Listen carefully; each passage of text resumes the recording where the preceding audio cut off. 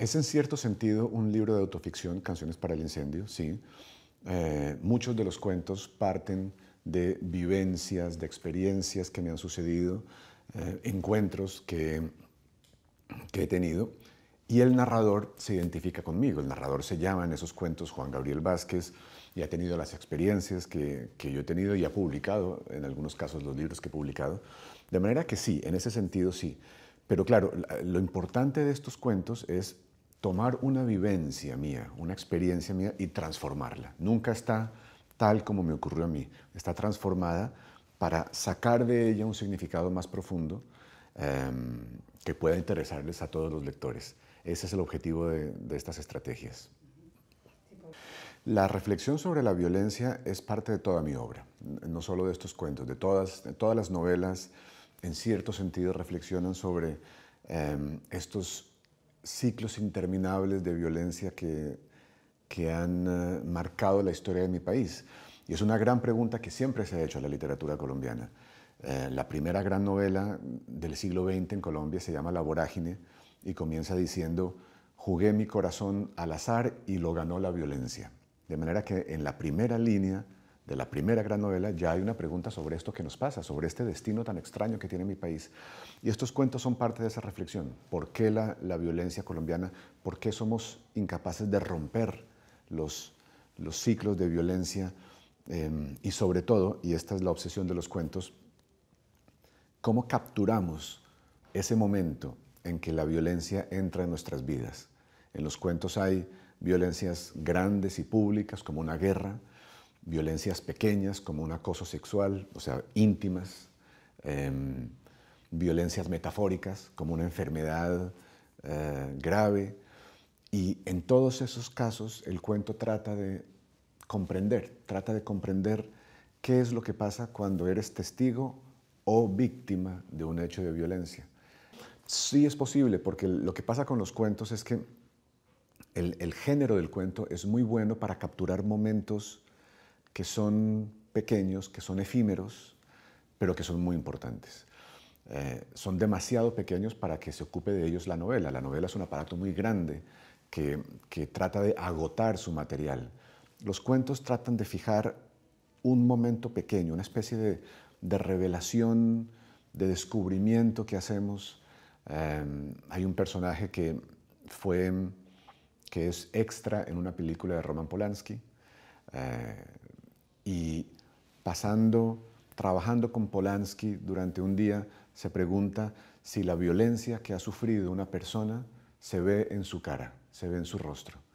Em, y, y esa, esa idea de estar cerca de alguien que ha sufrido la violencia y tratar de entender lo que sienten, tratar de entender lo que han sufrido, eh, para mí es, es parte de, de, las razones por las que escribo. ¿no? Acercarme a los otros y tratar de entender sus vidas secretas, sus vidas ocultas. Sí, es verdad, sí. A mí siempre me ha gustado esta idea de un narrador que observa, un narrador que observa a los demás, que trata de interpretar a los demás y de descubrir los misterios ocultos de los otros.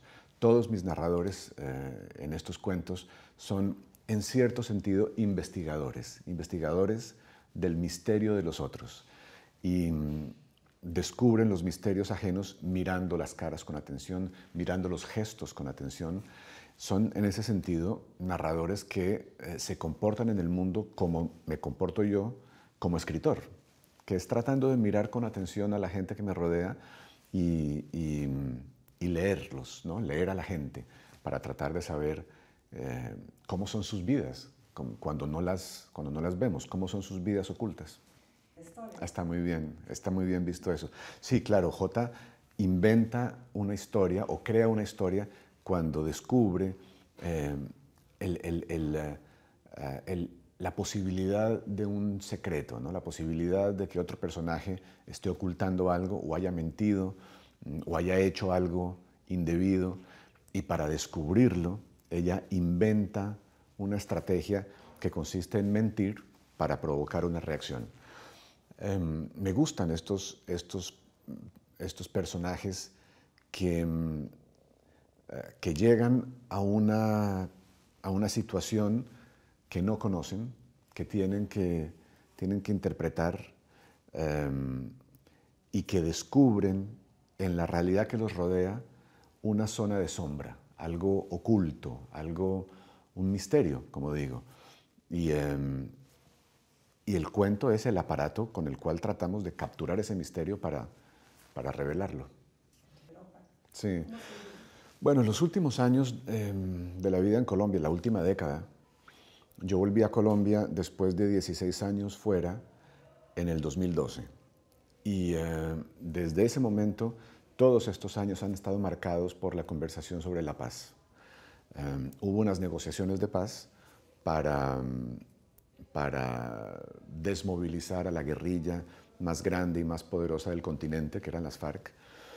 Los acuerdos finalmente se aprobaron en el año 2016 y desde entonces el país ha estado dividido entre los que han querido llevar los acuerdos a la realidad y los que han querido sabotear los acuerdos o, entorpecerlos o, eh, digamos, em, desconocerlos en muchos casos.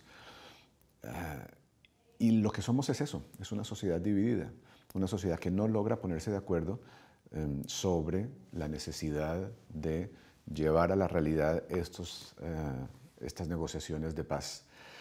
Lo seguimos tratando de hacer, desde luego los que contamos historias, los periodistas, los novelistas, estamos tratando de hacer eso, tratando de, de contar la realidad de lo que ha pasado en 50 años para tratar de entenderla y así poder pues, hacer, hacer realidad, ¿verdad? Los, lo que se negoció, los acuerdos de paz y poder avanzar hacia el futuro.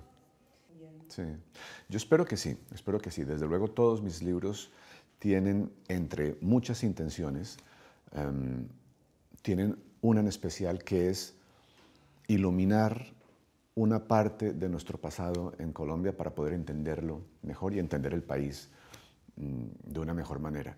Yo creo que eso en una sociedad conflictiva, en una sociedad que ha pasado por una guerra tan larga eh, como la nuestra, han sido 50 o 60 años de guerra, mm, de enfrentamiento con las guerrillas, de guerra entre el Estado y las guerrillas.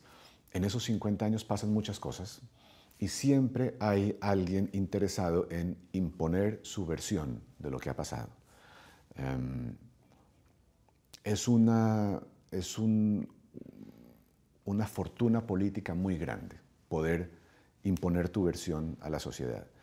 Y yo creo que la literatura es el lugar donde los ciudadanos eh, tratamos de recuperar nuestro derecho a contar la historia, a decir que no la cuente el poder, que no la cuente el Estado, que no la cuenten los gobiernos, que no la cuenten los partidos políticos, que no la cuenten las iglesias, que la contemos los ciudadanos, la sociedad civil.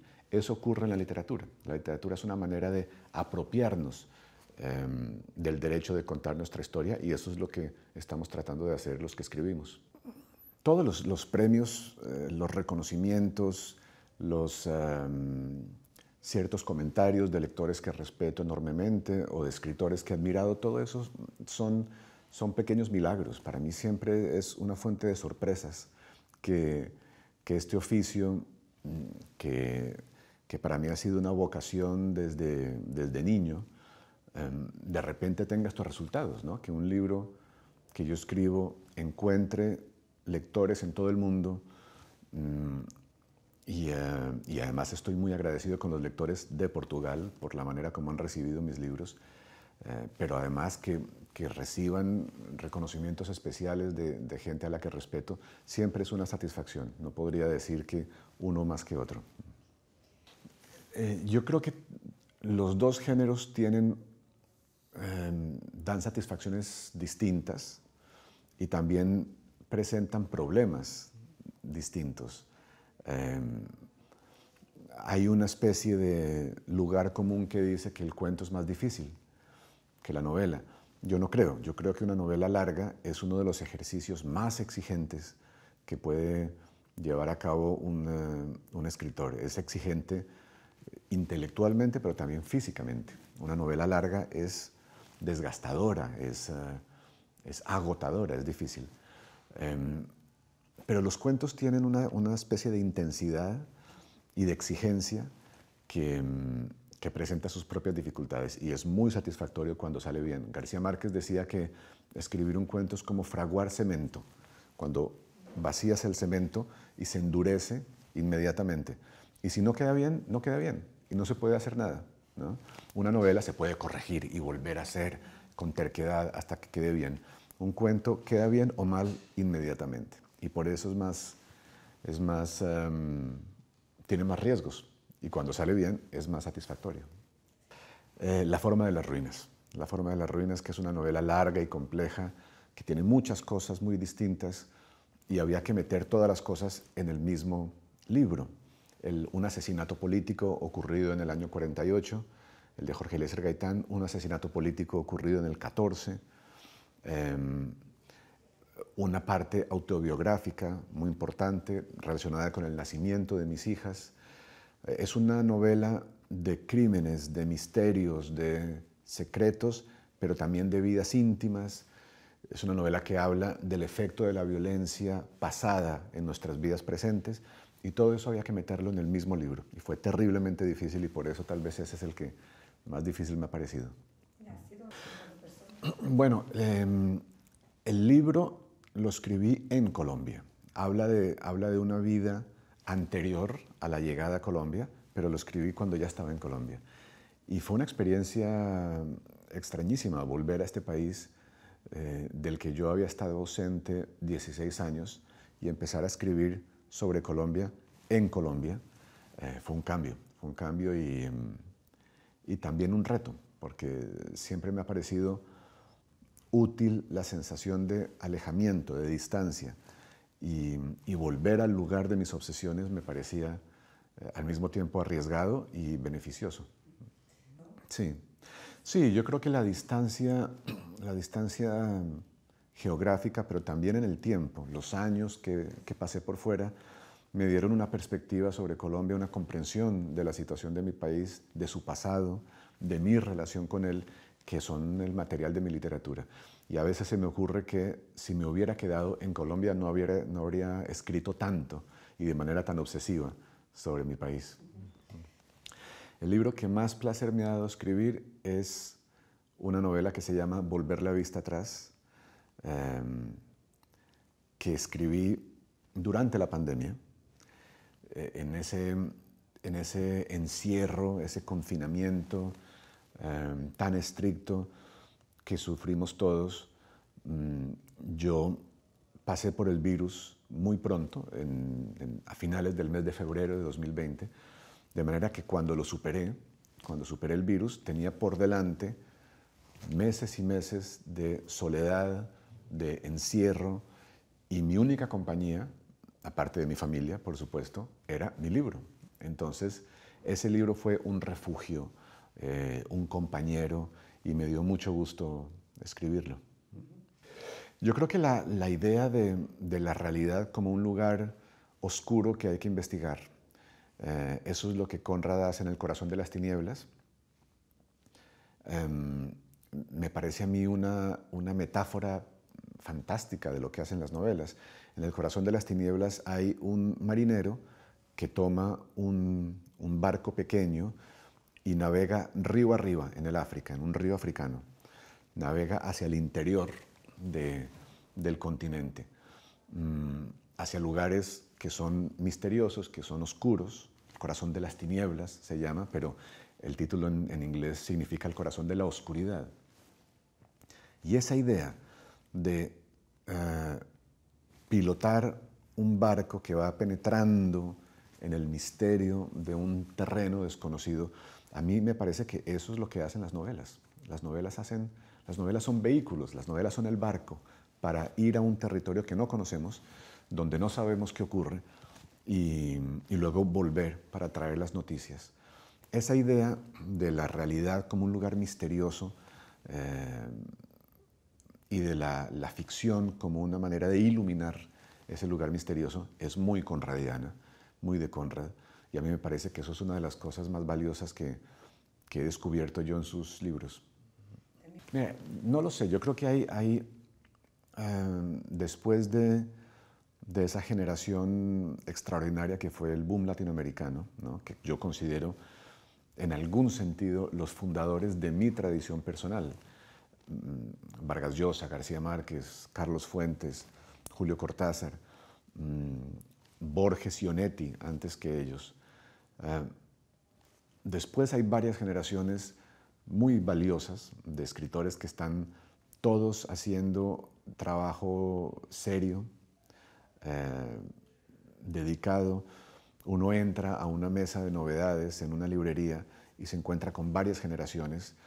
Mm, en mi país, desde Tomás González, eh, que nació en los años 40, mm, hasta, hasta una escritora nacida en los años 80, que se llama Lorena Salazar, y una, una nómina de escritores intermedios como eh, Santiago Gamboa o Ricardo Silva o Héctor Abad, eh, Laura Restrepo, de manera que es, un panorama muy rico. Hay, hay una especie de, de eh, eclosión de literatura latinoamericana. Estoy hablando de los colombianos solamente ahora, pero puedo pensar en Samantha Schweblin en Argentina, en Fernanda Melchor en México, em, escritores que hoy tienen 30, 40 años y ya están haciendo una obra importante. Karina Sainsborgo. Karina Sainsborgo, sí. De manera que es un momento rico para la literatura latinoamericana. Estoy de acuerdo con lo que decía Carlos Fuentes. Carlos Fuentes hablaba del territorio de la Mancha. El territorio de la Mancha era toda la lengua española. Tenemos la misma, escribimos en la misma lengua que nos llega del Quijote, que nos llega del Lazarillo de Tormes, em, y en ese sentido yo creo que la gran patria de la literatura española es la misma, la literatura en lengua española. Eh, ahora bien, la literatura de España y la de América Latina han tenido una historia de, contrastes, de desencuentros. Eh, durante el franquismo la literatura española se había mm, empobrecido relativamente, habría, había sufrido censuras, mm, había sufrido las las consecuencias del encierro, se había vuelto en cierto sentido eh, local, ¿no? provinciana. Bueno, Colombia fue un país más cerrado que otros, pero, pero la vida intelectual de México, de Argentina, se transformó radicalmente con la llegada de los republicanos españoles, es verdad. Em, pero lo que iba a decir es que en este momento eh, en el que España es un país cerrado, de repente llegan estos estos bárbaros, como lo pone un libro que me gusta, eh, que son los escritores del boom. ¿no? Llega, llega Vargas Llosa y llega, y llega la obra de Fuentes y de García Márquez a romper un poco la, eh, digamos, la, la, cerrazón de la literatura española y, la enriquecen muchísimo. Y luego viene una generación de escritores españoles como Javier Marías, como Antonio Muñoz Molina, Mm, como Juan Marcé también, que los latinoamericanos hemos leído y nos hemos enriquecido también con ello. De manera que es un camino de ida y vuelta que es muy interesante. Para mí es inevitable la, idea de que la literatura es un espacio de libertad. Em, la literatura, la novela, em, es un espacio donde estamos libres de proselitismos. Nuestra vida como ciudadanos es una constante lucha contra todos los que nos quieren convencer de algo.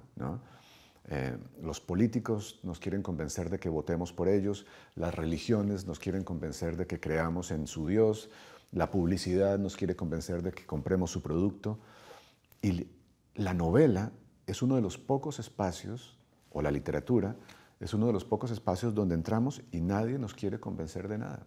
Somos libres de sentir y pensar lo que queramos, Muchas veces eh, pensamos dos cosas contradictorias al mismo tiempo mm, y esa libertad es, es, em, amenazante para los, los, ah, espíritus autoritarios.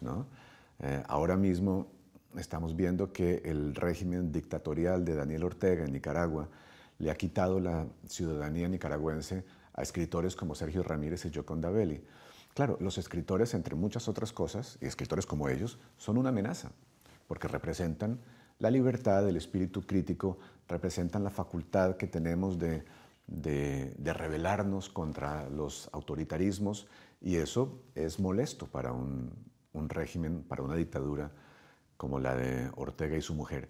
De manera que eso sigue vivo, ese papel de los escritores como, como, como críticos, como, como defensores de, de nuestras libertades civiles, mm, eso sigue siendo verdad, sigue estando vivo y sigue representando una amenaza para los autoritarios.